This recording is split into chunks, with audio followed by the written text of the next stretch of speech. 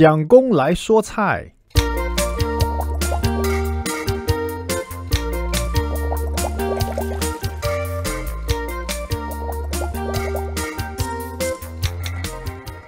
All right，那天我在想说，小朋友很喜欢吃披萨，很喜欢吃披萨，那上面那种 cheese 的感觉，然后那种花花绿绿的一些这个料在披萨上面。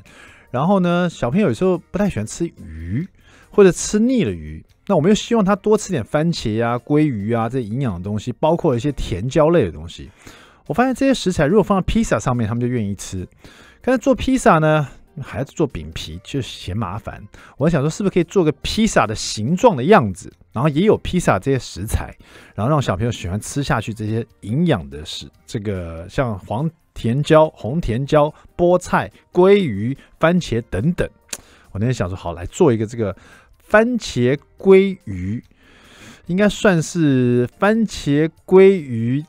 盖饭吗？因为我下面还放了一点饭，可是事实上我发现这道菜其实不用放饭在上下面，就直接呃做好一整盘放上去就可以了哈。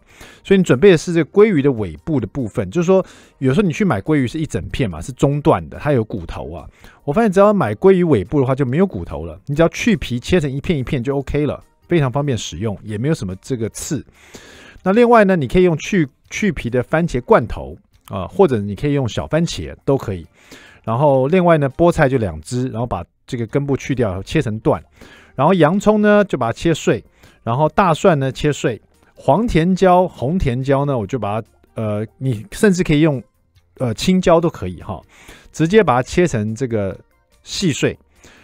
有时候那个小朋友不喜欢吃东西，把它切成丁啊，切细碎的，啊他放在 cheese 里面，他就把它稀里糊涂把它吃下去了。你可以试试看。然后另外呢，这个因为我们是做类似披萨嘛，所以我就用羊菇哦，羊菇我是切片，呃或者切切一半就可以了，看这个羊菇大小。现在有的羊菇就卖很大颗的，你就要切可能四分之一这样子。你如果切片的话，也切厚一点，切太薄的话就没有那个菇的口感。如果你不想买羊菇，你也可以甚至用红喜菇啊、美白菇啊，呃只要不要用金针菇就好，因为金针菇太细小，就会出水，就比较没有口感。好，那因为我们要做。类似一个披萨的感觉，然后又又本来是要把它放在饭上面，有点像亲子冻那种感觉，所以用两颗鸡蛋把它打散了。那我想准备一些高汤，那我家里正好有些蛤蜊，我就把蛤蜊呢先把它蒸熟了，然后用一点水把它蒸熟，然后那个里面放一点姜，所以那蛤蜊的腥味会把它被把它压过去，然后蛤蜊的。打开了以后，就把肉挑出来，汤留下来，姜就把它挑掉，所以你就有一碗这个蛤蜊高汤，那又有蛤蜊的肉。那 cheese 当然需要一点披萨 cheese 或者 parmesan cheese 都可以哈。那做法很简单，你只要把这个锅子放点油，然后鲑鱼放进去，先把它煎，有点一面煎略上焦色哈，就是说你煎它的同时，你就不用去动它，不是炒鲑鱼啊，就把鲑鱼放在煎它就好了，都不要动。大概煎个，如果是大火或中火煎个三十秒到四十五秒，差不多。你翻面就看到煎鱼鲑鱼的那一面都略带焦色了。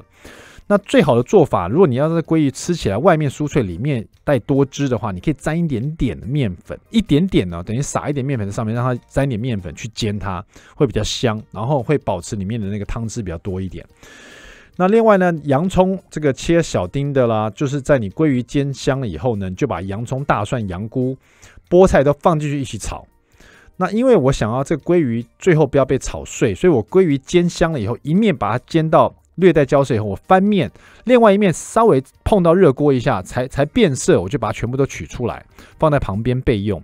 锅子里面是鲑鱼的鱼油和鲑鱼的香气，这时候再把洋葱、大蒜、羊菇、菠菜段通通丢进去拌炒一下，把那个洋葱啊、大蒜香味炒出来，然后把菠菜炒到那个油亮了，然后这时候就可以放你的小番茄，呃，小番茄最好是把它切到碎碎的，让它那个汤汁流出来。如果你可以用那个这个。番茄罐头就更好，因为番茄罐头里面的番茄比较酸一点点。你可以挖个两大匙、三大匙，带汤一起进去，跟你的洋葱、大蒜、羊菇和菠菜一起把它煮煮滚。煮滚了以后，就把那蛤蜊高汤一起倒进去。等于说你刚刚是炒炒到热了，然后蛤蜊高汤倒进去把它煮滚，然后最后呢再放下甜呃甜椒丁，然后所以这里面呢，就你可以想象它是蛤蜊的高汤在煮滚所有的食材啊，又有鲑鱼的香气，然后菠菜也熟了，然后羊菇啊、大蒜的洋葱啊，都都有那个味道出来了。这时候你就可以把那个呃蛋汁啊慢慢淋进去，蛋汁一淋下去，它还没有凝固的时候呢，你就可以把蛤蜊肉都撒进去。蛤蜊肉都撒进去以后，你就开始煮这整所有的食材，同时呢，你可以把鲑鱼再慢慢的一片一片摆上去。让这个即将凝固的蛋汁呢，把你的鲑鱼肉跟所有食材粘成一个圆形，因为你的锅子是圆形的嘛，啊，很少有那种方形的锅子啦，就圆形的锅子，所以你这整块都会凝固成一个圆形，像披萨的样子。那上面食材有红有绿有黄的，所以感觉更像披萨。最后的一个手段就是撒上一些披萨的那个 cheese 在上面，那其实整个就完成，因为你有蛋汁嘛。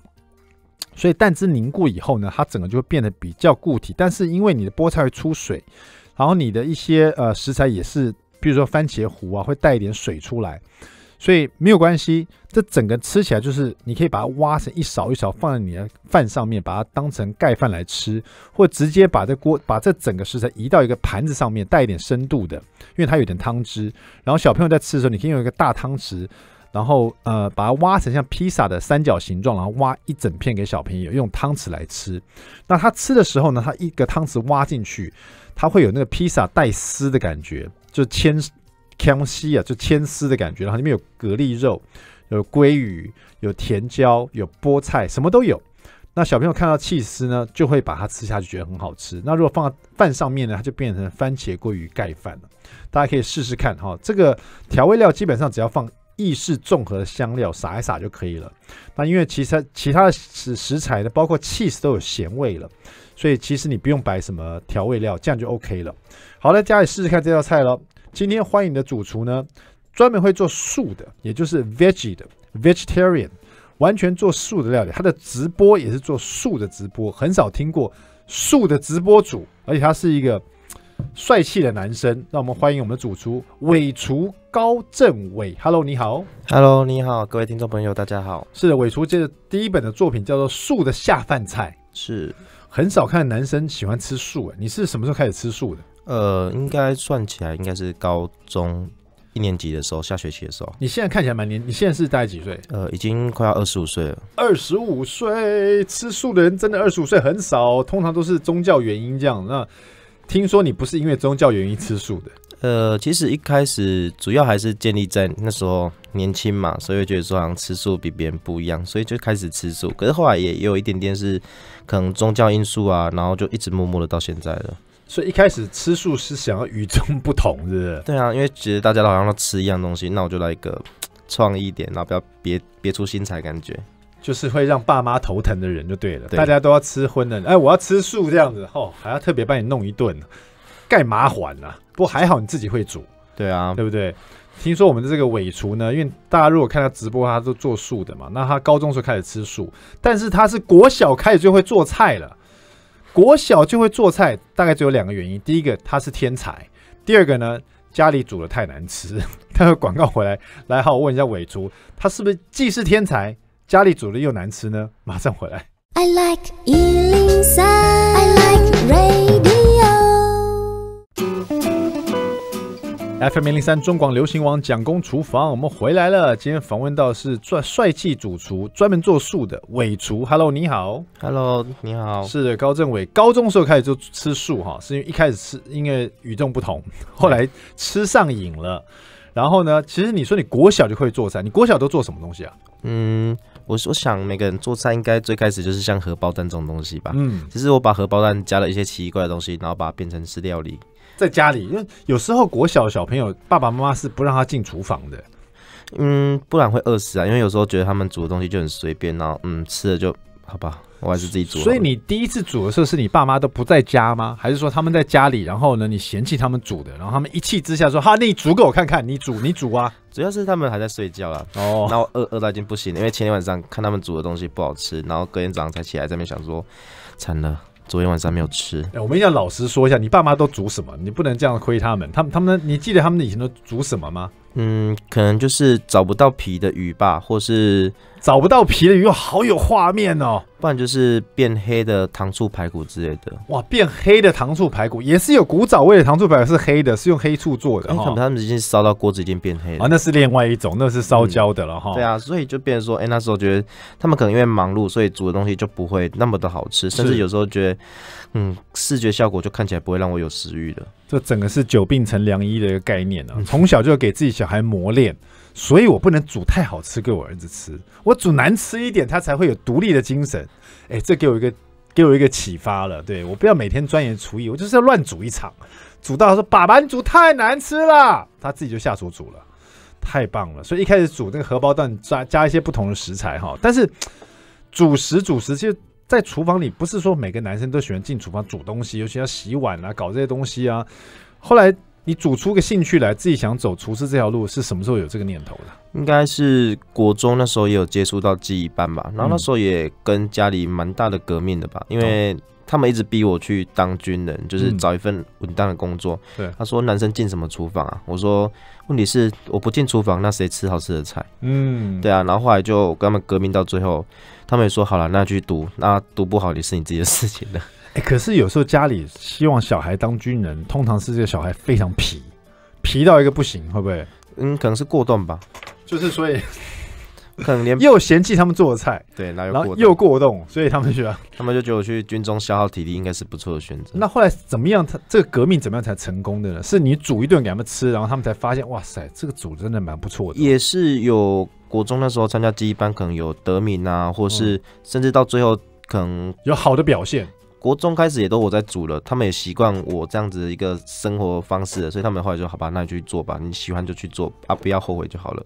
没想到，那你有后悔过吗？到现在为止，我通常后悔就是我没有办法做更多菜，而不会因为后悔选择做菜。嗯，而且现在这个环境不一样，现在其实这个直播主啊，其实是蛮不错的，蛮夯，因为会做菜也是一种大家很喜欢喜欢去看的一件事情，做菜的过程，或者教大家怎么做菜。然后现在在网络上这么样的那个呃简单，大家随时都可以看到你做的菜，所以做直播主呢又很不一样。你做素的料理，嗯，今天出了出了这本树的下饭菜哈，这里面呢有蛮多道的，一百道树的下饭菜。先讲一道你的自选曲吧，好不好？嗯，选一道我的自选曲，那应该就是可能是你常做的，或者是你觉得朋友啊觉得这一道菜也不错，常常拿出来这个献献宝的。拿出来献宝，有应该可能没有这道菜就是可能就是打包猪吧。这这道我真的很常做给我那些很爱吃辣的人吃。对，因为你看这做素的，那里面有打抛猪，还有糖醋排骨，还有红烧狮子头，这一切的一切呢，到底该怎么做呢？打抛猪我也常做啊，可是就是要用绞肉嘛，对。可是素的打抛猪要怎么做？可不可以跟大家分享一下？好，那其实打抛猪。就像您刚讲说，哎、一荤的就是用绞肉，那其实我只是把这绞肉换成一个大豆蛋白的绞肉而已。嗯，对，那它除了绞肉素食的绞肉啊，那我会加一些口感比较不一样的，像面肠啊，还有杏鲍菇，嗯，然后牛番茄当然是不能少的。那再就是辣味的来源，就是大辣椒或者是老姜，这些一定必须需要的香料。那台湾取得打泡叶实际上不太容易，所以我都会用九层塔去做替代。对，用那种叶面比较大的九层塔去做替代，它的香味会比较仿我们一般的打泡的味道。对，嗯那其实把刚有有考究哦，哦对打抛打抛，大家很多人不知道什么是打抛酱哦，原来是它是这种，它是它的叶子，对不对？嗯，是。那其实它这个做法是蛮简单的，只要把我们面肠啊、杏鲍菇啊切成小丁。那我们的素糯末原本它是干燥的，那把它泡发沥干了以后，嗯，再帮我们牛番茄去掉蒂头，切小丁。尤其是现现这个季节啊，牛番茄真的超级便宜的。我有时候都会做一堆起来，然后丢在冰箱，要吃的时候可能打微波，然后就可以淋到饭上诶，面去了。所以说这个泰式打抛猪是蛮适合当那个常备菜。它很适合，因为它可以做起来以后把它丢在冰箱，要吃的时候把它热好就可以吃。对耶，好，继续说下去怎么做？好，那我们刚刚讲到有大辣椒跟老姜啊，我们都一律把它切成细末。嗯，那九层塔原则上把它的那个硬骨啊，把它去除以后，我会建议大家把它切成细末去做备用，它的香味会比较容易融入我们整个打泡柱里面。嗯，对，那我们就锅里面呢、加一点点香油，把我们面肠先把它煸炒到金黄色，最主要是要去除它面生味，还有让它外面会这样子会有一点口感的样子。那再来就是加入我们的杏鲍菇跟素肉去做翻炒。嗯，那通常会有人会说，哎、奇怪，为什么我的香料是后面才加？主要是我们如果香料先加，它很容易就把它炒焦了。嗯，对，所以我们这时候再加入我们的姜末还有辣椒末，那去翻炒了以后，再加入牛番茄，让我们的番茄香出来，那也可以降低一点点酸味。那最后再加入我们的水，然后还有我们的素蚝油啊、酱油，还有盐巴糖去做调味。那因为它本身像我们刚刚讲的面肠、杏鲍菇还有猪肉末，它本身都是没有味道的，所以我们要微煮个五分钟，让它入味。那起锅之前呢、我们再放入我们之前准备的九层塔去做拌炒，最后再点上一点点的柠檬汁，它就可以完成一道非常简单而且又好吃下饭的泰式打包猪。没错，泰式打抛猪，你听尾厨这样做，也许他没有把所有的那个这个调味料的这个分量告诉你，可是你马上就有一个概念，说应该怎么做会蛮好吃的。而且杏鲍菇，如果你不是不是一个很习惯用素肉末的人，比如说你不是常吃素，你家里没有素肉末，事实上你可以用这个杏鲍菇就可以了。对，它可以全部用杏鲍菇，只是它口感就是比较 Q 一点点，嗯，它吃起来其实蛮像肉的，对不对？哈、嗯对，那这样整个这个炒起来就是一道泰式打抛猪哦，而且你可以把它当做你的常备菜，放冰箱里面，你可以就把它当做用泰式卤肉饭的感觉，对不对？对对对。其实我这里做的时候，人家说啊，这就是泰式版的卤肉饭了。对，而且在拌面也不错。就如果拌那意大利面啊，或是那种细的干，像我们现在常常有那种方便干面，有没有？嗯，大家都只用里面的调味包。那、你做好这个常备泰式打抛猪，你把那个干面弄一弄，把这加上去，加一匙就够了，其实这个拌河粉或拌那个米线都很好吃。更赞，对不对？哎，听起来是蛮有底子的哦。好，另外一道我一定要这个我们的尾厨来挑战一下，泰式椒麻鸡，你看看，总是听起来是很唬人，但是原来是素的。到底怎么做泰式椒麻鸡做素的？其实椒麻鸡最主要它是那个它的酱汁啊很重要。这一次呢，我们要请尾厨来好好公布一下它泰式椒麻鸡的酱汁的配料什么，但它就是它的灵魂了。然后待会广告回来，我们就请我们的这个尾厨告诉大家素的泰式椒麻鸡怎么做。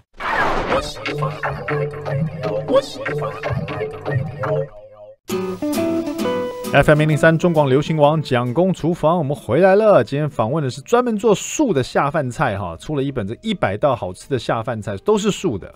那就是我们的尾厨高正伟，Hello，你好。Hello，你好。是的，大家可能在这个直播的，就是应该在 YouTube 吧还是在哪个呃，我现在目前在粉丝专业，就是 Facebook 的粉丝专业。做直播？对，是。那你大概什么时候开始做这样的直播的？呃，好，应该是去年的一月初。对，怎么会突然想要做这个料理的直播呢？其实很早就有这个想法，只是一直不敢尝试，觉得说，哎、会不会做了，然后可能就不到一百个人观看之类的。对，然后就后来就最后决定去拼一拼吧。都在家里自己做。对，普遍都在家里自己做直播。那现在大概做多久？嗯，刚满一个月又十几天吧。在家里做这样的料理直播，有没有什么需要准备，或是自己做了以后才发现，原来看人家做料理直播跟自己做的感觉是不太一样的？其实最大的麻烦就是你要去准备材料，所以通常我要直播前的四五个小时都在外面奔波。真的，那做菜火开了，下锅以后大概十分钟的时间，对，前面四个小时没人看，对不对？没人知道你准备的辛苦。那那个做菜，他那个镜头要怎么去拿捏呢？呃你就用手机自己拿在手上这样子。呃，之前是有我的朋友可以帮忙我去做镜头掌控。嗯，对，那到后期我发觉可能会跟那个观众会有距离感，所以后来都变成我自己在长镜。对对，然后现在可能就是目前就是要真用其他设备，可能就是像导播的方式去切换镜头，这样会做。这么专业，现在对啊，因为主要是大家一直在说，有时候可能会看不到我的锅底的重点啊，或是我在拿什么东西的时候，他们看镜头上面晃会头晕，所以我后来就毅然决然的嗯。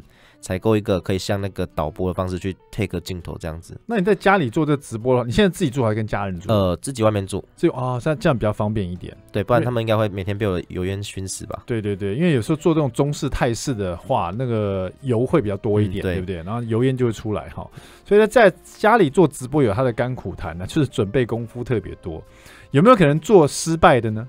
呃，基本上还没有做过在直播上面做失败，虽然就最麻烦的其实就是有时候做的这些东西，它必须要准备好几份的材料。嗯，对，它为了要呈现每个阶段，可能做点心就会有三个阶段、四个阶段，然后做完我就要烦恼那些东西到底谁要吃掉了。对，那到到底是谁吃掉呢？呃，之前通常就是很很就是很巴结，可能就吃了三四天。现在我就是有时候就把它打包起来，可能就是去公园呐、或是路上有一些街友去送给他们吃，不然就是把它当做隔天可以去分给别人分享的一个菜色这样子。真的做直播，大家都知道，有时候做出来做一堆，然后到最后如果都是自己吃的话，哇，那太可怕了哈！因为不是说不好吃，是吃太多，会腻，真的会不是会腻，会变很胖，就是吃太多就有职业伤害，你知道吗？刚刚讲这个泰式椒麻鸡哦，要准备的食材会有什么呢？那泰式椒麻鸡啊，我这边已经改过好几个版本，嗯这是后来我觉得这个版本的口感跟大家准备会比较好制作的。嗯对，那其实它很简单，它就是只有面肠，面肠是当做我们泰式椒麻鸡，因为它本身是我们的那个蛋白质的来源，因为面肠本身有丰富的蛋白质，还有筋性，所以它口感上面会很像我们一般的那个鸡腿肉的感觉。嗯对，那它的食材，因为我们我们这本书是不含五星的，所以它原则上就是用香菜，然后辣椒、姜这三个最主要的新香料来源去做一个我们的酱汁调配。对，那还有柠檬是酸味来源，但是这边我还巧妙的用我们的，其实可以用我们的柠檬的皮加到我们的酱汁里面，它的香味会更迷人。嗯对，那高丽菜啊，我们会把它切成细丝去做泡水的动作，让我们去吃泰式椒麻鸡的时候，它有一点点像在吃生菜沙拉的感觉。除了吃到我们炸的椒麻鸡，还可以利用我们的高丽菜去疏解它本身的油腻感，跟它会比较辛辣的口感。对，那它做法蛮简单的，就是我们把面肠啊从中间把它剖开，那不要切断，我们让它变成有点张开的样子。对，那两侧我们会插入牙签把它撑开，让我们的酱汁容易浸泡进去。哦，所以说面肠还是要腌制它一下，呃它就像肉品一样，它不腌制的话，它其实本身就是一个面生味，是没味道。对，哦，那再来我们会把香菜啊、辣椒啊，还有姜末啊，然后把它切末以后，这时候我们会把柠檬皮外面的皮把它刨成那个小细末。那我们高丽菜丝刚刚讲过，要切细丝，泡冰水或是泡水去做一个去除它本身高丽菜的生水味，还有它会变比较酥那个爽口一点点。对，那我们把我们的调味料，就是我们的所有腌料部分，我们利用酱油啊、糖、胡椒粉啊、五香粉，还有我们的姜泥。姜泥其实是一个椒麻鸡蛮重要的一个一个调味料，还有一个算是食材。对，那因为有姜泥下去炸的时候，它会散发出一种很腻我们的肉味的一个香味。对，那还有水，我们把这些腌料调好以后，我们就把刚刚的面肠把它放进去里面腌制个三十分钟，这样就可以了。我就直接把这个面肠当做肉来腌制對对了，对对对酱油、糖、胡椒粉还有五香粉很重要，对哦，然后再就姜泥了，姜泥是不可缺的，再加水，然后把它拌一拌这样子。对，那我们刚刚讲到的，像香菜啊、辣椒、姜这些，还有柠檬皮啊，我们就另外用一个柠檬汁，然后可能柠檬汁、酱油、糖跟乌醋跟这样子去做一个调味我们的酱汁。因为其实很多素食者不能吃泰式椒麻的酱汁，就是因为不能吃鱼露。哦，对，所以我们会用酱油跟乌醋去做一个防拟真的乌醋那个鱼露的味道，只是它没有那个腥味而已。嗯，对，就插在这边。那再来的话，我们可能用热锅，然后加入沙拉油，然后把我们的面肠啊沥干了以后，沾上地瓜粉下去过油炸至金黄，那再把它沥干它的油脂，这样就可以了。那高丽菜我们把它从我们水里面把它捞起来，铺在我们的盘中。那面肠把它的里面的牙签一定要把它拔除，不然很容易受伤。嗯，对，那把它切小块以后铺在我们高丽菜上面，那最后再把我们的调味酱汁淋在面肠上面，这样其实就可以完成一道很容易唬人的一道，算是宴客菜了。泰式椒麻鸡是对这一道就比较不适合当这个常备菜，因为那个炸完了要立刻吃，对，要立刻吃最好吃。它才会有那个散发出来。看那个酱汁啊，还有你炸腌过的东西，炸完以后它会散发出那种椒麻鸡的那种热热的感觉，对不对？嗯，对，吃起来就挺唬人的哈。吃的时候会不会第一第一秒、第二秒下去觉得，哎，这好像不是鸡肉，但是很好吃，这种感觉对不对哈？它其实最之前还有一个配方，是我把面肠用杏大根的杏鲍菇，然后把它沿着它边缘把它刨成一大片的肉。可是我发觉那个有点缺点，就是它菇会一直渗水，就变到嗯最后口感上面会比较不那么好吃。后来我才又改改改改到变成是用面肠制作。对我刚刚想讲那个直播有没有失败，其实我这个意思其实是问错了。我的意思是说，其实像你这每道菜啊，其实也没有什么前，没有什么其他人可以追寻，因为你要很多菜都是你自己要想出来，它的嗯调味料你要去试做嘛，所以也有可能是试了以后才发现说这个食材不适合，然后再做调换。这这这也包括在你直播之前的准备功夫里面。其实我我我我说一个蛮大胆的话，就是呃，我在直播之前，我很少会去做过我直播要做的东西。嗯对我通常都是用想象空间。是对，那想完了以后再去做拼凑，那基本上我就会把它丢在直播上面用，除非有些是像点心类啊，或是一些面点类，它是需要精准的配方，那个我才会前置去做试做啊，不然的话，像这种菜肴类，我基本上就是直播就是现场去做调味、去做挑战这样子。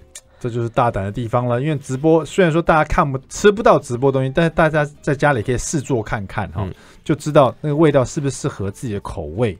但是这样素的来做出来的菜真的蛮特别的。另外，大家耳熟能详的苍蝇头，它也可以做素的，而且这个苍蝇头多半我们都是用那个那个叫什么菜来做它的绿色部分，韭菜，韭菜，对不对？对。然后是韭菜花哦，但是这边的苍蝇头呢，我们使用的不是韭菜花，使用的是龙须菜。待会儿马马上回来介绍这一道菜，别走开。I like. I like radio. FM 零零三中广流行网蒋公厨房，我们回来了。今天访问的是专门做素的下饭菜的人气直播主厨，他是伪厨高正伟。然后这个出版社叫朱雀文化，他们这次编辑的方式也蛮蛮不蛮简单，一目了然的哈。有一百道这种素的下饭菜，它是从这种爆炒类的啦、酱汁拌炒类的、清烩呃清蒸烩煮类的，还有。煎炸烤物，还有凉拌小菜哈，像凉拌小菜里面很多都是我们在那个餐馆里面看得到的一些凉拌菜或者小菜哈，所以不见得是完全大家觉得哇，像苍蝇头啊，或是这个刚刚我们讲的什么呃泰式的这个打抛肉啊，或甚至于是椒麻鸡这样子的一个创意菜，有很多就是我们直接在餐馆就可以拿来吃的这种呃素的小菜啊，这边也有很简单的做法。那另外刚刚要讲到这个苍蝇头，拿龙须菜来做。我好像没看过，这个蛮特别。当初怎么想拿龙须菜？呃，那时候其实是这边想很多，到底有什么东西是形状跟韭菜很像，然后纤维又要一样够多的。后来这边挑市场那边挑的时候，就走过去，哎、这是龙须哎，而且它其实跟韭菜除了那颗头不像以外，基本上切碎也蛮像的，所以后来就把它拿来当做我们的韭菜花的一个替代品。嗯，因为我看过人家用青椒类的，可是青椒类炒到后来就有点不会那么爽口。哦对，那韭菜那个龙须菜感觉起来，后来咬起来口感会跟韭菜很接近。真的蛮接近的。嗯，但是味道不太一样。但是这个苍蝇头要怎么做呢？哎，对了，有没有可能是因为很多吃素的人他不能吃，比如说某种新香料或者什么样，他所以说你会就不用韭菜花呢？呃，是因为毕竟台湾现在目前以宗教素为居多，所以我后来就编辑这本书的时候，我不记不写入所谓的五星类的一些食材跟香辛料。嗯，所以这个龙须菜又是另外一种选择哈。到底要怎么做？来，请我们尾厨告诉我们。好，那我们这个龙须菜啊，我们苍蝇头的头，我就用我们的黑豆豉来做一个使用。那其实传统还有用皮蛋啊，但是我今天只用黑豆豉而已。对，那龙须菜，然后还有我们的刚讲到素肉末，当做我们的一般的绞肉做使用。